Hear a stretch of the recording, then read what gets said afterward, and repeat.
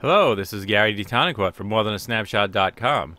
Today I wanted to take a look at what could be coming in Lightroom 6.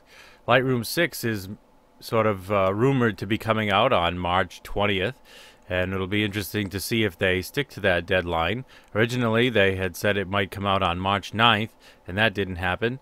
So, um, there are some sites that are publishing some rumors about what could come out in this version. And so far, the only thing I think that Adobe has confirmed is that you will need a more advanced operating system because it needs to have a 64-bit to be able to run. So Windows 7, 8 uh, will have to have run in 64-bit and OS 10.8 to run this new uh, program. And uh, this site, DIY Photography, has a list of things that um, they think are coming. Uh, some of the things on the list I are pretty much already here, but uh, we'll take a look at some of these. Um, of course, Lightroom is a great program for editing your photos. It's fast and efficient and uh, pretty non-destructive. And they list some of these things here, but I think it's pretty much that already. Um, of course, I'm sure they're going to have performance improvements where it processes the photos faster, which will be which would be nice. Um, so one of the things they mention here is an advanced feature for conversion to black and white. So that's always helpful. Um, developed predefined settings. They already have presets. Maybe they're making improvements to the preset system. Uh, face recognition so that it can go through your photos that you already have and find a face and tag it. Uh, they had something similar to this in Photoshop Elements, and um, it wasn't all that great in Elements. It'll be interesting to see if the performance of it is better in Lightroom. Uh, more sophisticated healing brush. Uh, last time uh, they updated Lightroom, they made improvements to the healing brush, and it was better, uh, but still not as good as doing your cloning in Photoshop. So again, it'll be interesting to see how much better this brush will get. Um, upright vertically, something that will help you to automatically straighten your vertical photos to make sure all the lines are straight. Uh, again, in the last version of Lightroom, uh, Lightroom 5, they did also add a bunch of tools for helping you to straighten your images. So this is probably a continuation of that. Uh, merge to HDR. This is interesting. This is something new.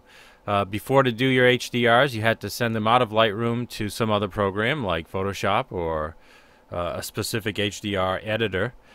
And now, if you can do it right in uh, Lightroom, that would be kind of cool. Uh, and they also uh, seem to be adding a Fusion Panorama program. So you can do your panoramas and your HDR right from Lightroom. Uh, performance gains, we kind of mentioned that before, that you'd be able to work a little bit faster. Um, sophisticated video slideshows. Well, we have slideshows, but uh, having it a little more advanced slideshows with uh, being able to use still and movies, that would be a very nice feature to have. Right now, the slideshow module isn't uh, super useful because it doesn't always put the sound in there with the images. So I think it's time for some big improvements in the slide slideshow area. Optimized web galleries. That's another area that was really lacking in Lightroom. These other panels, I never used all that much because they weren't all that good. We'll see if they're much improved.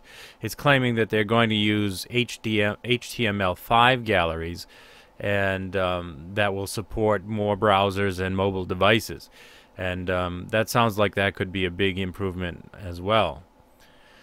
Um, integration of online sharing. They sort of already have that. You can get published services for places like Facebook and Flickr, and I, and I do use those, and, and those are good. Maybe this integration is going to be much easier to use, and that would be a nice feature. Uh, creating photo books, of course, they already have that. They use Blurb to create their photo books, and um, uh, I'm sure it's probably just going to be some updates to, you know, maybe to Blurb or whatever they're going to do. Uh, and uh, that's all that they have listed on this site. So some interesting features, nothing, you know, too hugely different except for the uh, merge to HDR and to panorama. Uh, and I'm a little bit excited about what it could happen with the slideshows and the uh, um, and the web galleries. Those are two areas I think that really did need updating. So keep an eye out on March 20th to see if uh, it really does come out on that day. And um, also, I'm creating a new course for Lightroom 6. And so hopefully I'll be able to come out with mine very soon after that with the updated features of Lightroom 6. Again, you can find out more information about this show at uh, morethanasnapshot.com.